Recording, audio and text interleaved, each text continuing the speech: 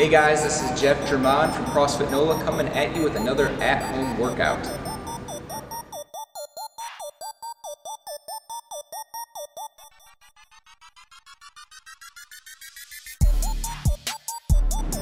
The workout today, the workout of the day today, guys, is called Surfer on Acid.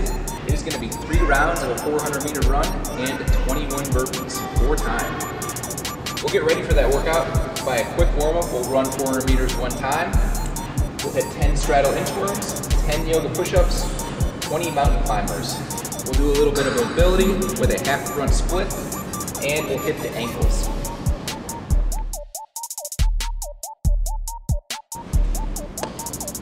All right, guys, following our, one, our 400 meter run, we're gonna come in, we're gonna do 21 burpees. For the burpee, what I wanna see you do is jump down and get your chest all the way to the ground.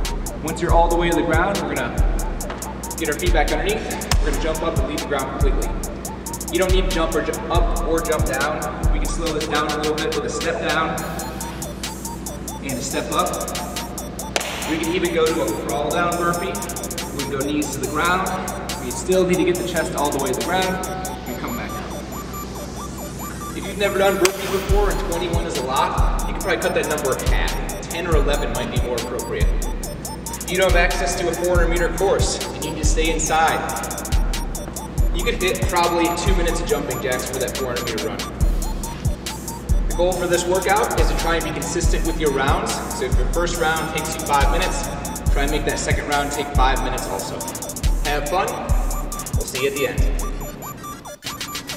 Hey guys, this has been Jeff with CrossFit NOLA. If you need more ideas for at-home workouts, be sure to check out our website, www.crossfitnola.com, and look at our YouTube channel. We're posting daily workouts and briefings every single day.